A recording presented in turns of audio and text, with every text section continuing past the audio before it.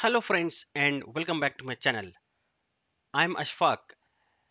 In Azure DevOps, if you are using the uh, Microsoft hosted agent to run your job, so you will get the bill for that.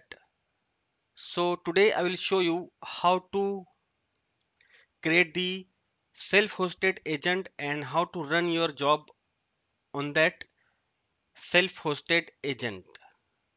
So let's start today's video. So I have logged into my uh, Azure DevOps account. I will create my project.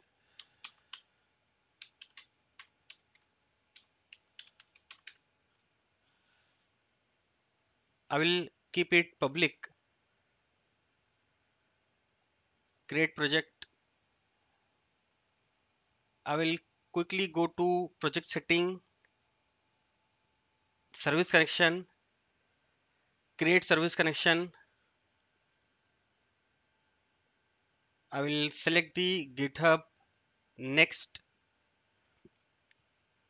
grant authorization. OAuth I will select Azure pipeline. I will click on authorize I am already logged into my uh, github account so it has taken the credentials from there. I will give the name to this connection. I will tick here and I will click on save. So in my organization if I go to setting and if I go to agent pools so this is the uh, Azure pipeline agent pool which is having the Microsoft hosted agent.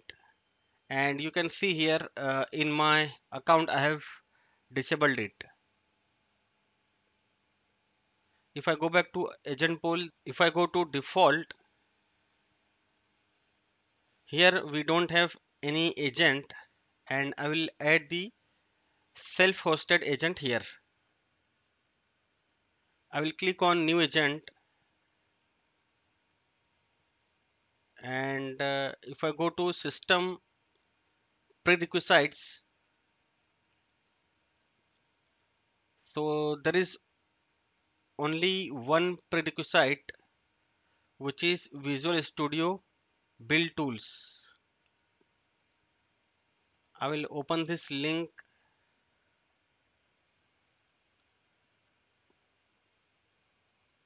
and download the exe.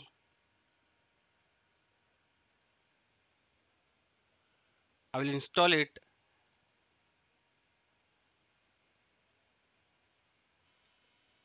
Install. Okay so Visual Studio build tool installation completed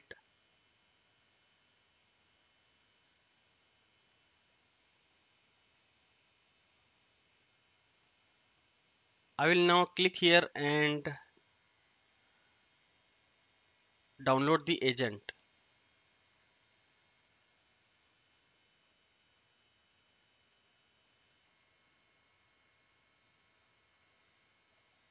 Agent has been downloaded in the zip file.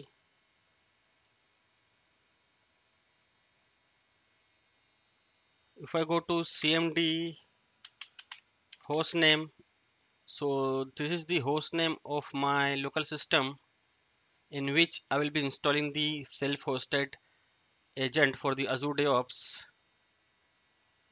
And if I go to run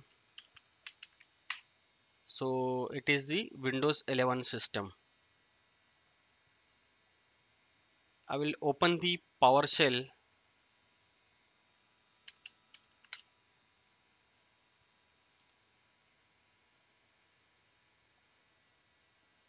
I will go to C drive and make one folder here called agent. And we will extract the downloaded zip file in this folder with this command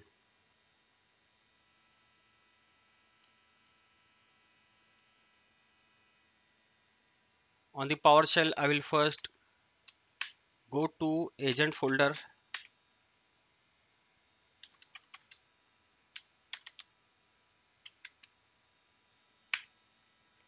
And I will give this command.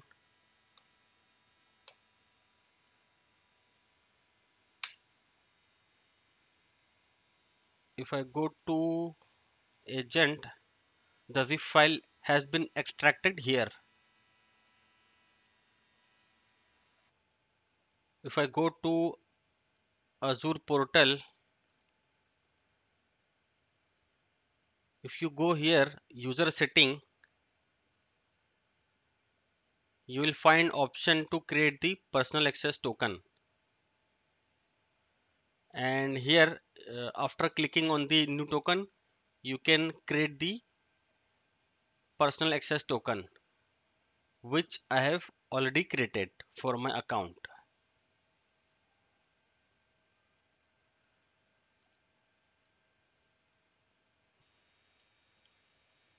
I will copy this command and give it here to start the configuration. I will give my server URL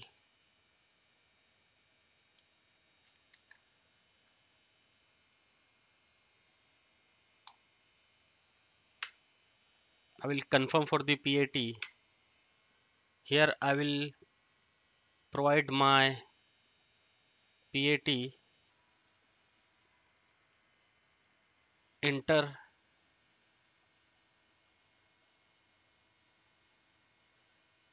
enter agent pool. Our agent pool is default.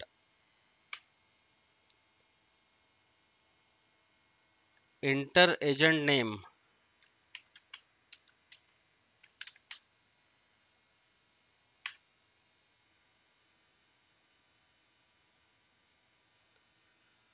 I will confirm the work folder. So enter run agent as service. I want to run the agent as service. So I will type here yes yes. Enter enter again. So agent has been installed in my local system. If I go to services.msc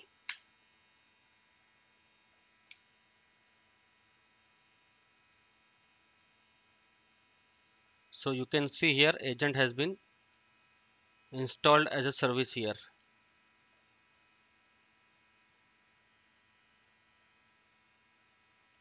I will now go to Azure DevOps portal and uh, inside the default agent pool you can see my lab agent is showing online.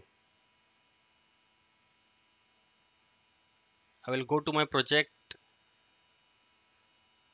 pipeline pipeline create pipeline use classic editor github. I will select my repository.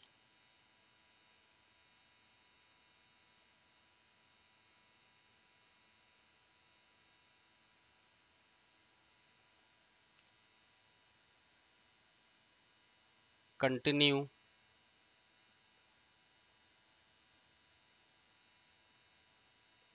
empty pipeline.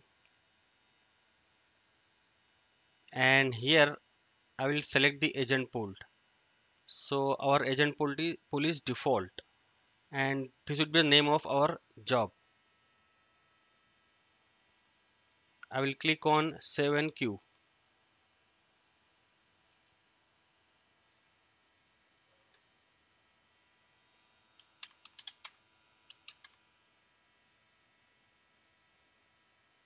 save and run.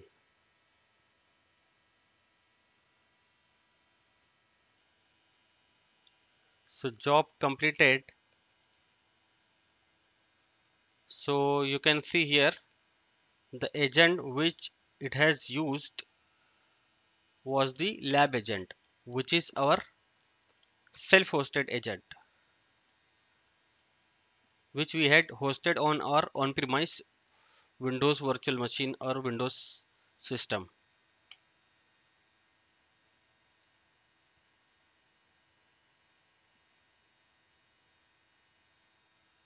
I will again go to pipeline and this time I will run the YAML pipeline. I will go to new pipeline github YAML I will select my repository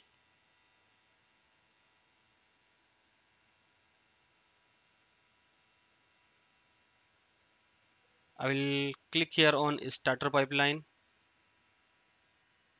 and here I need to give the pool name if I don't give any pool so it will use the uh, Microsoft hosted uh, agent pool. So here I will define my agent pool which is having my self-hosted agent. And the agent pool name is default.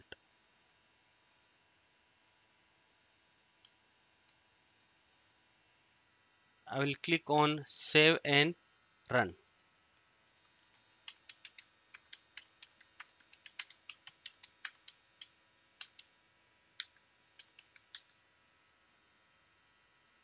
save and run.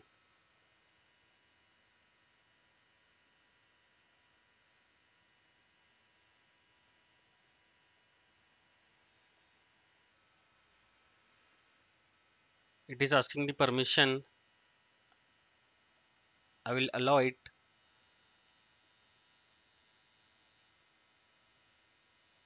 So job run completed. If I go to job so it has used the default pool which is having the uh, self-hosted agent and uh, this is our agent uh, which it has used which is our self-hosted agent lab agent.